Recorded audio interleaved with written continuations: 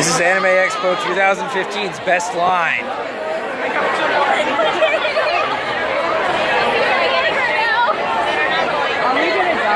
Yeah, well, I think I'm gonna have to keep you from getting trampled. We'll, we'll get trampled together. No, Cheyenne, we're not going in that deep. They can fucking have their position in line. I don't want to die tonight.